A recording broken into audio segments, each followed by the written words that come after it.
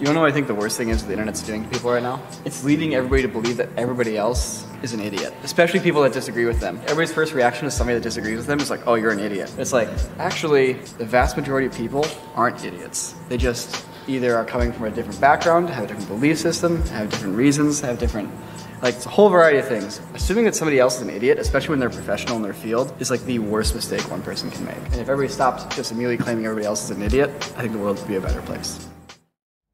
We are honored uh, today to be in the office uh, here in Moscow with General Alexei Leonov. General, thank you very much for spending the time with us today. 2015 represents two of the most important anniversaries in human spaceflight history. They both involve you the 50th anniversary of man's first spacewalk, and the 40th anniversary of Apollo Soyuz. Uh, it's hard to believe that this much time has passed, but looking back at that time, what uh, what did those days mean to you personally, and uh, are the memories of those accomplishments as significant today as they were when you lived through those 50 years ago and 40 years ago? Э, Я бы начал немножко Uh, let me start чуть-чуть пораньше. with some А, events как я that took place оказался prior to that. How did I happen to have become a part of this goal, of this task? Very recently, in the minutes of one of the meetings, we have found the following statement. And this takes us back to Mr. Korolev running one of the meetings where they were supposed to shape up the actual uh, first EVA session that I was supposed to be a part of and what he said about me. I would like to outline the most important feature of Mr. Leonov, and this is his wit, his uh, ability to quickly act, his ability to guess correctly, his ability to accept technical materials, excellent character, He is an Он artist. художник, сам рисует, He is very sociable очень person. общительный, He is very очень, по-моему, kind добрый и and располагающий hospitable человек. person. He's very Смелый courageous, летчик. courageous. Технически Fighter прекрасно pilot. владеющий современными He has реактивными enough истребителями. knowledge and ability to Прошедший всю operate a подготовку. variety of different Мне кажется, uh, этот aircraft. человек And I think that this заслуживает person самое uh, большое strongly внимание. deserves our attention. That's what Mr. Korolev told about me, which I never knew. And these words determined my fate, determined my destiny. And then the issue came up as to who is going to be the first one to go EVA. He said, we do have a candidate. This year, I visited Mr. Korolev's daughter and she let me listen to a recording on the first press conference,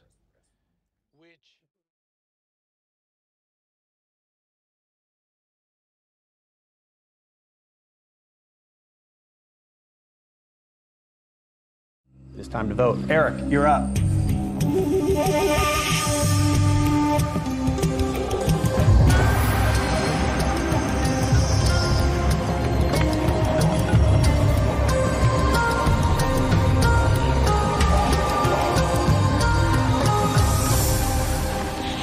Setting of circumstance, you might be having famous fun. I wish you the best of luck.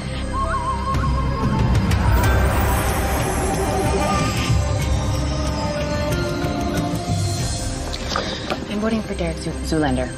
Oh, I mean Faith. No, sorry.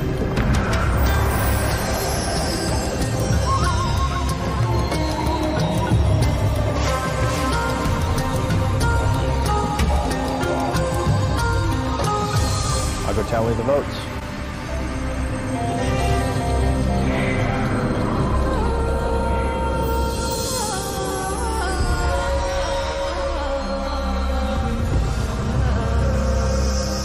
Once the votes are read, the decision is final. Person voted out will be asked to leave the tribal council area immediately. I'll read the votes.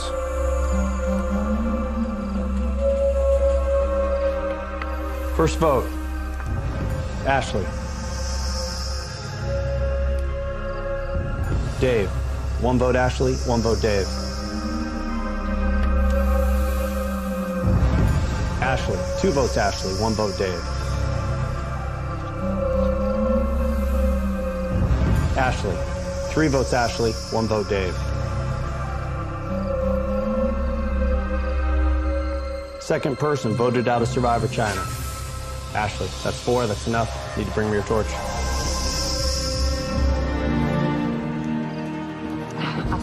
Soon.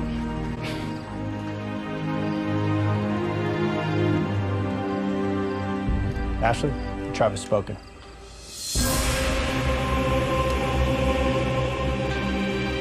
Time to go.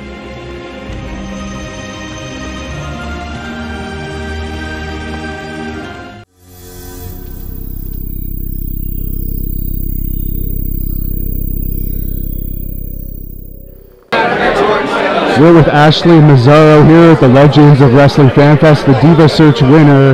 Um, what are you up to these days? Uh, I do a lot of these cons. It's great. I get to see the fans, and I've seen a lot of people that I recognize, which is pretty cool. And I get to see my friends from wrestling, so it's fun. Are you still wrestling? no, I'm not wrestling, but I do do indie shows. I guest rep, I ballet, still doing that stuff. What was your uh, highlight of your wrestling career in? WWE? You know what? Like people have asked me this question before, and I feel like it's my answer is kind of like weird. But I feel like my my biggest moment for me was my WrestleMania entrance. I know it's just an entrance, just having made it to WrestleMania was so mind blowing. I was just like, I can't believe I'm here, and I can't believe this is happening. So that was like probably the biggest moment for me, like wrestling wise.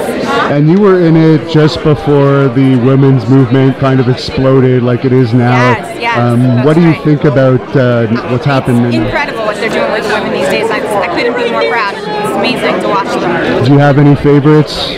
Um, I do, but I can. I'm not gonna say. All right. And are you still modeling? yeah, actually, I am. I work with uh, Paul Heyman and the HeymanHustle.com, and uh, we've done a couple shoots, shoots together over the summer last week, last summer, and uh, they just came out on his website, so you can check them out at HeymanHustle.com. And whereabouts do you live these days? I'm living in Long Island. Long Island, New York. okay. Yeah. Not too far away then. And can people follow you on social media if they want to look Yes, you up? absolutely. I can be reached at Instagram at Ashley Massaro 2013, and I can be reached on Twitter at Ashley Massaro 11. So hit me up. I usually am very interactive with my fans, so I'll see you there. And to close this off, you're still in excellent shape. Is there any way you can like strike a pose for us? Aw, thanks. Strike up like a like a bodybuilder pose. Yeah.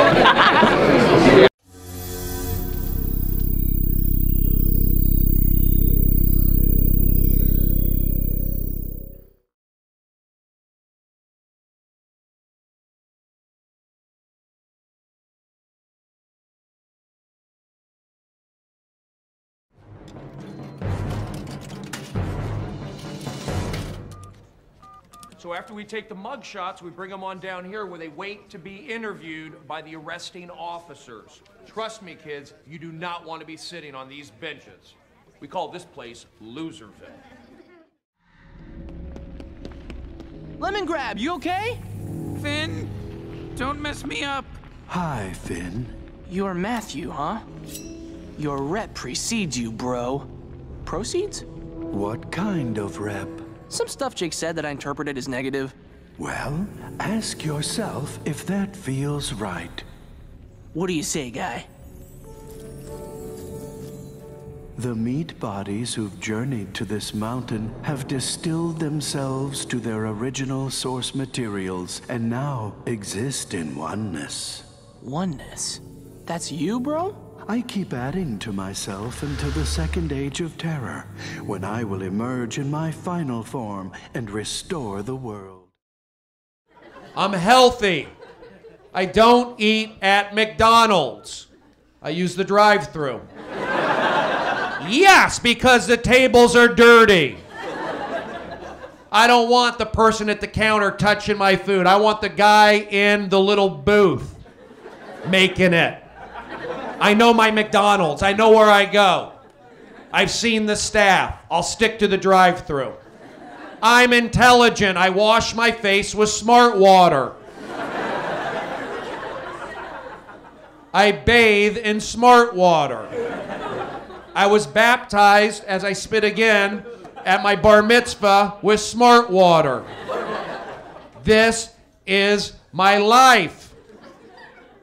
I've got color headshots, 11 by 17. I stand out in a pile. I just got a call back, thank you very much, to be an extra in a stadium scene.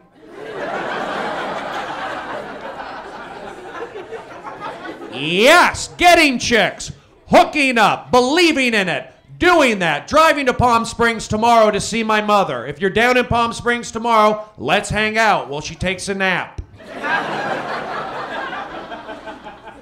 She'll take a two hour nap. I comb her hair while she sleeps.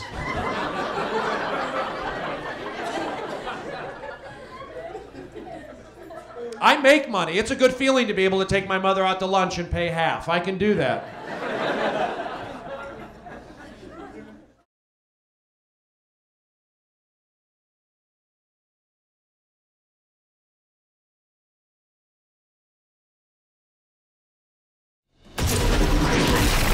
Enough, you two. If it wasn't for my web shoot, some innocent people might have been hurt. You worked so hard for this day, Herman. I can't believe you're turning against me. Stop with the act! You know you turned on me first! That caused an electrical fire in the biology lab. Stop! Don't hit the alarm! He'll manipulate the sound! I'll show you the true power of sound. Clayton, I'm not against you. Then you shouldn't have attacked me. Boosting beyond capacity. Uh-oh. He's about to unleash a sound bomb.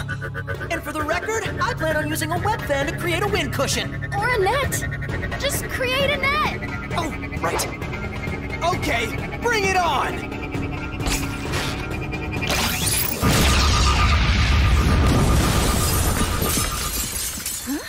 Everyone nice and stucky? So this spider kid is auditioning too, huh? Then I need a bigger arena to show off the full extent of my work. And may the best student... Oh, that was awesome! Oh my god, the ball's sticking out! God! Very good. That's it, buddy. Okay, throw the rock. Throw it at the lake. Just do something. What's up, Dad? Yeah, Charlotte's out of school, huh? Hey, check out Becky's. May I borrow this? Attention, children. Thank you. Donna, you want, you want to try? Sure, but I stink at sports. That's right here. And throw it and let the rock do the magic. No, you did it! Good job! Give me that. Now watch me. oh! Oh my god, baby, are you okay?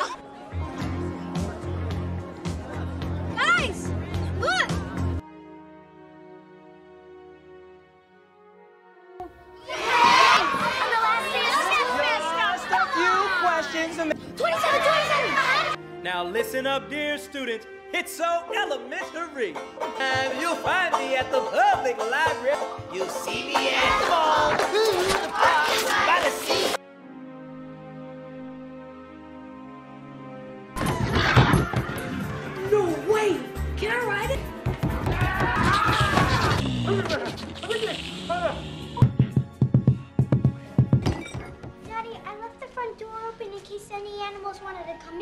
You did, And huh? one did.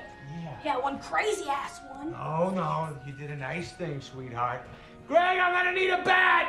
Daddy, no! Okay, come on. Come on. He's right here. He's eating Bowser's food. Stay, stay. Yeah. Move your doll towards me. And back to you. Three times fast. Give me that thing. Put it in my hand. Over there. I'm sorry. Easy. Ew. It is nice. Here, come on. Have the best last day of school, my gorgeous children. I love you all. In school, Greg, last chance to ask out Nancy Arbuckle. Nancy Arbuckle, what's that? You like a girl? Is that why you've been taking them long showers? No, I, I'm, I'm conditioning my hair. That's all I do in the shower. Condition my hair. That deer's a liar.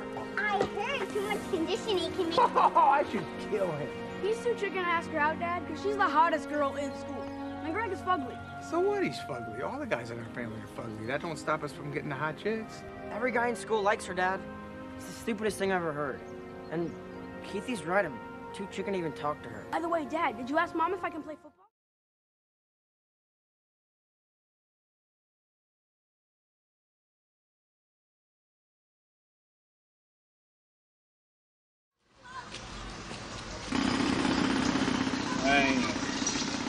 Nobody here.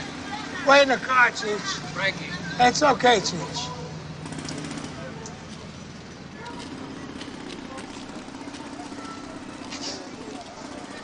What's this, though? It's a lucky C note for our new deal. Richie, give us a taste, huh? Yeah, we're all real happy about your decision, Frankie. You're not gonna regret it. I don't like the C note, Rosato. I take that as an insult. Michael Corleone says hello.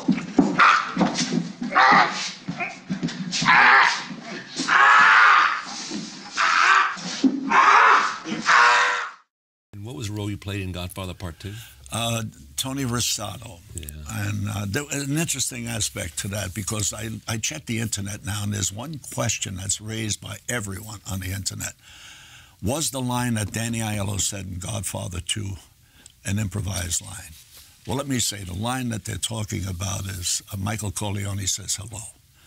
Now, Frank Pentangeli, who was played by Gazzo, Michael Gazzo, was sitting at a bar. I walk behind him. I come, I put a garrote around his neck, and I say, Michael Corleone He says hello. And I drag him into a phone booth. I failed to kill him. Hmm. In any event, we're rehearsing the scene. It's an Italian restaurant, Mulberry Street.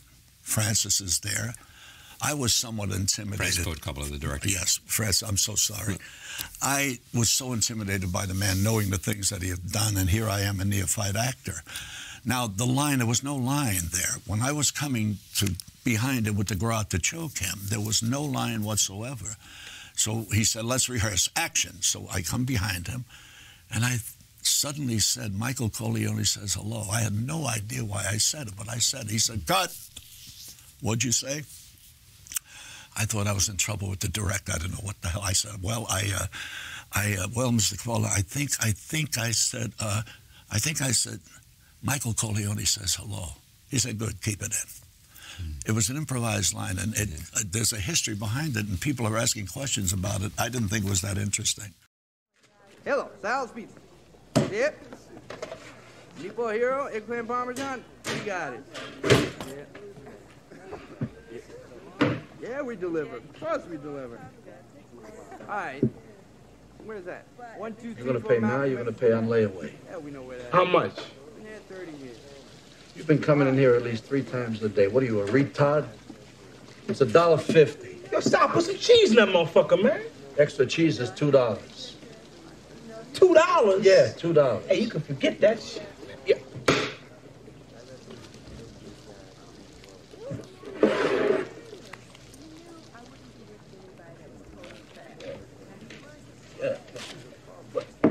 a bum.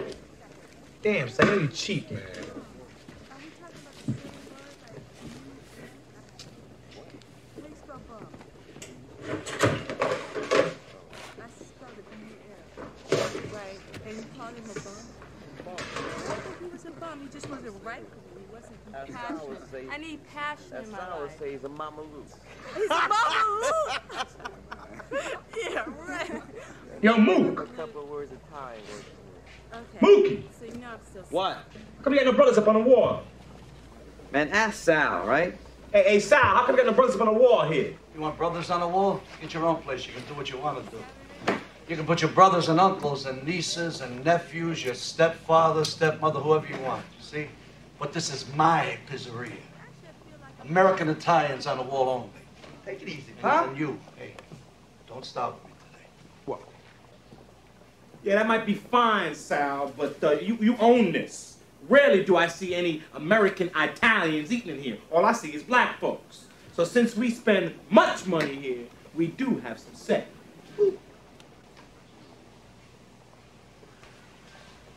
You looking for trouble? Are you a troublemaker? Is that what you are? You making trouble? Yeah, I'm a troublemaker. I'm making trouble. You're a real ball breaker.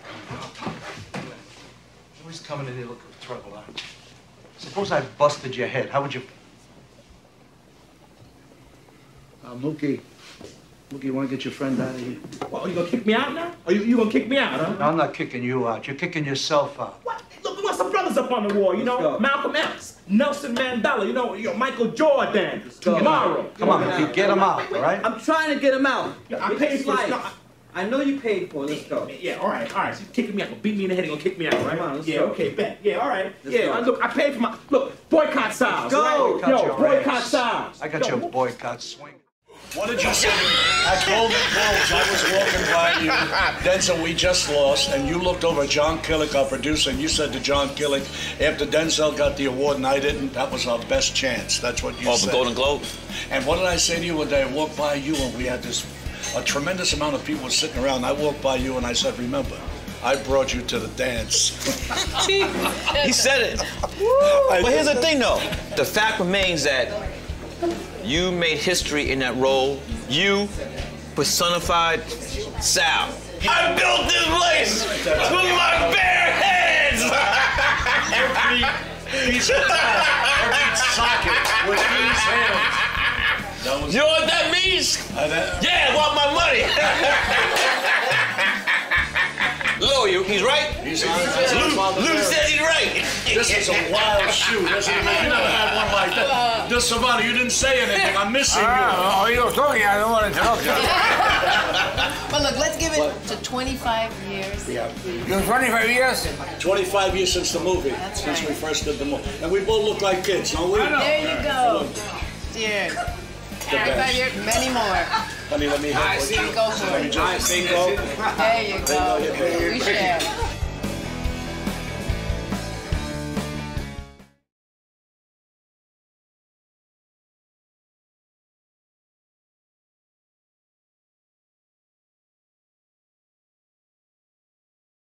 Calling all cartoon connoisseurs. Still holding, Mr. Schwarzenegger? Stay on the line. Still there, Mr. Eastwood? Please hold.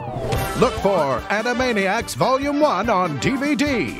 The Jabissels? The next generation of classic animation Oh, no. is coming to DVD for the first time ever. How's that for an entrance? Yes, the famous Warner Brothers, And the Warner sister. Yakko, Wakko, and Dot have been released. Be afraid. Be very afraid. Now experience the liberated loonies and their super crazy croonies on a five disc DVD collection filled with 25 hilarious episodes from the hit TV show I feel so at home here. that no animation aficionado should miss. But wait, there's more. Then prepare for global domination by an unstoppable force. We are two lab mice involved in a broad and sweeping plan to take over the world. Stop! Pinky and the Brain Volume 1 on DVD. Yes, these ruthless rodents are exposing their mad genius in a devious four disc collection on DVD Ergo, instant celebrity. with 22 outlandish episodes from the award winning TV series. God, I'm brilliant. Plus, special behind the scenes bonus features too powerful to resist. So surrender your sanity with two new collections on DVD. Now it's time for the hard Hello, this is Gordon Bressack, and I'd like to tell you about an exciting new video coming soon to YouTube. It's called Keeper, and it is scary, and it's intense, and it's hilarious. How can it be all of those things? Well, you'll just have to wait and see. Coming soon to YouTube near you, Keeper.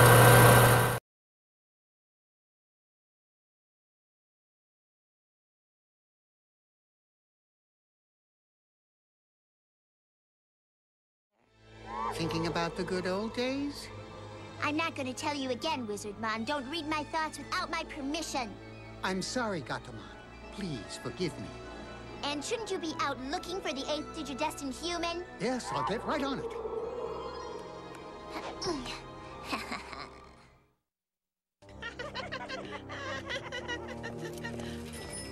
Still, no reaction from the crest.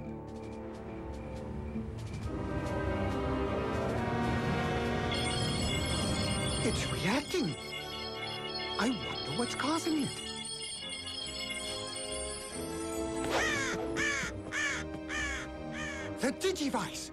Thunderball! Hey, Wizardmon! What you doing over there? Uh, nothing. It's hard to believe you came all the way out here to do nothing. Come on, tell me what you found. All right, but if I show you, you have to promise not to tell anyone. Come on, show me! All right, it's a bottle of green chili sauce. It's great on tacos. What are you doing eating on the job when there's work to be done? You should be looking for the eight-digit Digidestined child like the others. Please don't tell Lord Myotismon. Why don't you get rid of this for me? All right, boy, you know what I hope? I hope that the all-night drive-thru is still open. There's no way I'm handing this over to Demi Devimon. He'll take all the credit for himself. But wait, if the Digivice is here, where is the eighth child hiding? Wizardmon, what is it now? Go away before I use you as my scratching post. Sorry to disturb you again, Gatomon, but But what? the Digivice, where'd you get it? I found it in a crow's nest in the Iraqi woods. Then the eighth Digidestined must be somewhere near there. No, the eighth child is... Tell me right now. Well, you see, Gatomon... What?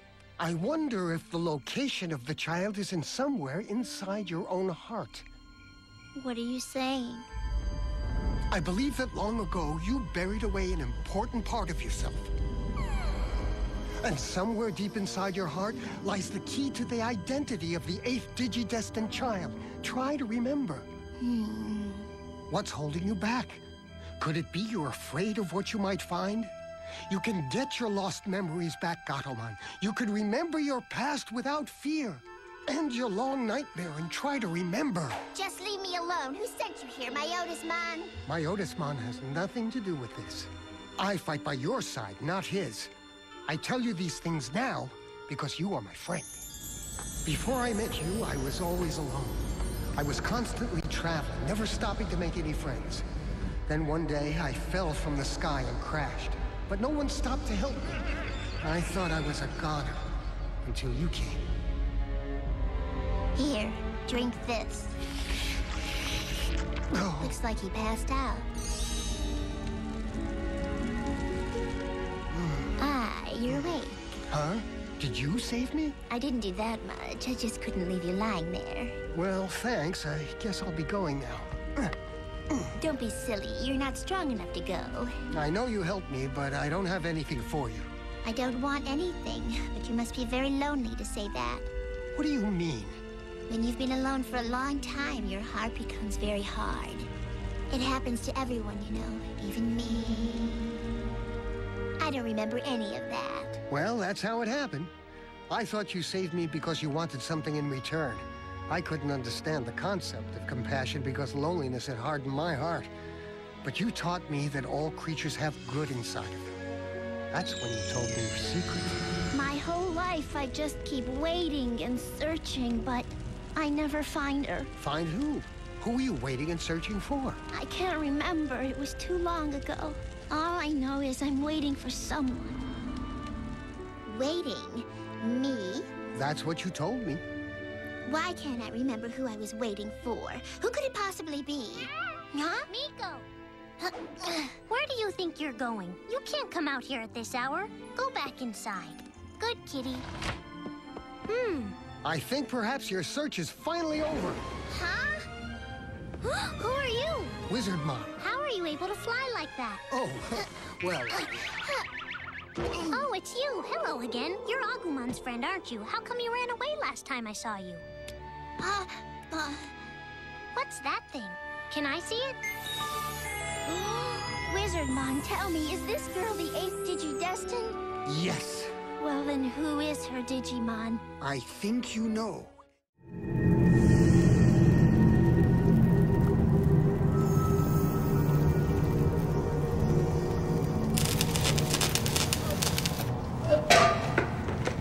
Huh? Ah, fuck this shit. Going back up to level two where it's warm. There ain't a warm spot in this whole dump. Besides, you got the next four hours of work detail, pal. We gotta carve out the rest of this fucking hole. If you ask me, we should all be flying out of here when that relief crew shows up, not just that frickin' Schneider. At least we didn't pull topside duty like Carl and Lipsky did. Keeping a ground crew on that helipad in this snowstorm is just plain stupid. Well, flying in it's stupid. Hey, Munson. Nonsense. Am I correct in thinking that some of the decisions being made around here by the top brass lately has been pretty boneheaded? Do me a favor. Don't get me involved. Yeah, just do your goddamn job, Lenny. Move some of this shit out of the way so we can walk through here. God damn.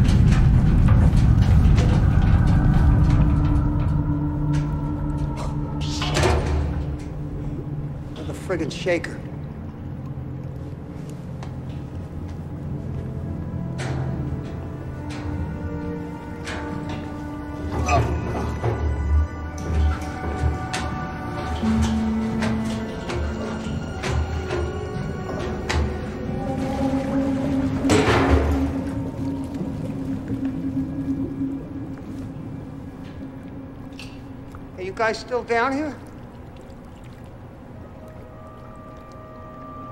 Hey, no, that's not funny. I don't screw around with you guys on your shift.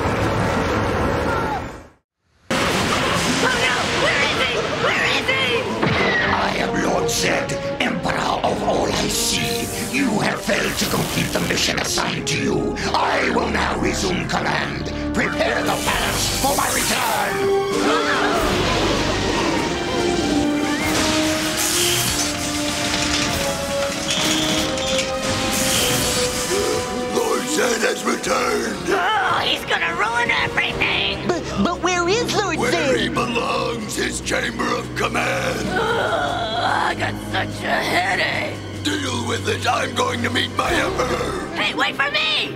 We should check this guy out. Come on. Ay, ay, ay, ay, ay, ay, ay. What's going on, Zordon? What's the emergency? Power Rangers, the thing I have feared most has happened. Lord Zedd has returned. Who's Lord Zedd? Rita and her minions, Lord and Master. You mean there's somebody worse than Rita? I'm afraid so. Lord Zedd has been ruling over darker places within another galaxy. Eons ago, he left Rita in charge to carry out his orders. Since she has failed to do so... He's come back to finish the job. Will we be able to defeat him, Zordon? I do not know, Rangers. I'm afraid your Zords may not be powerful enough to defeat Lord Zedd's magic. Lord Zedd's power is unmatched by anything we've ever seen before will be no more Afritas and Theria monsters. I will create one of my own to be reckoned with.